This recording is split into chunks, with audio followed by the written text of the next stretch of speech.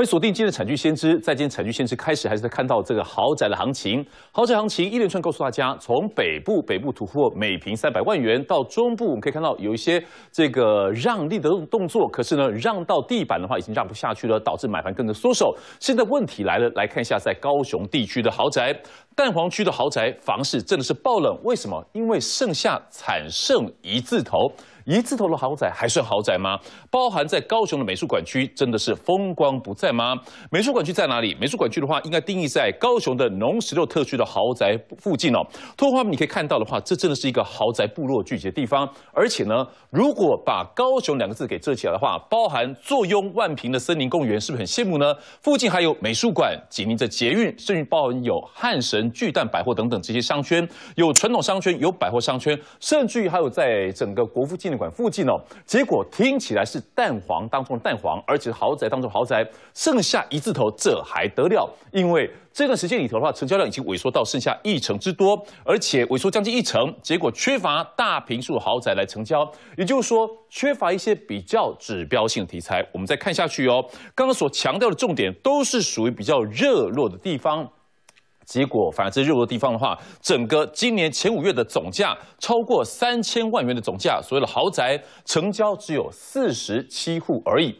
热络区如此，如果更冷的地方的话，更偏的地方恐怕就更糟糕了。所以我们要特别强调说，从这个豪宅角度出发，北部。中部到南部高雄地区根本就是一个往下杀，所以呢，豪宅的价格部分已经转向比较低总价的豪宅，会变成是一个负面的股牌性效应？这一点就要特别特别留意了。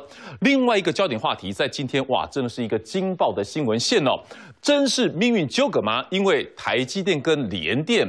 这两个对头难得共识性的投资，投资在哪里？就是在太阳能大厂的茂迪身上，结果竟然是惊爆了亏损，累计亏损当将近是有半个资本额之多。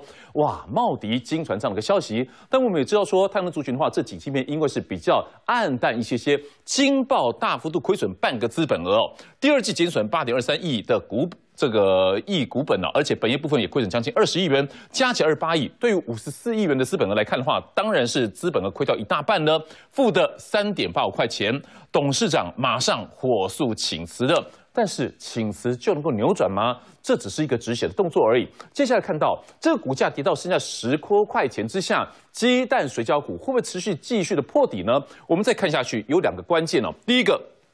年利的部分，就在今年七月份有两万三千四百九十八张的股票全数认赔了。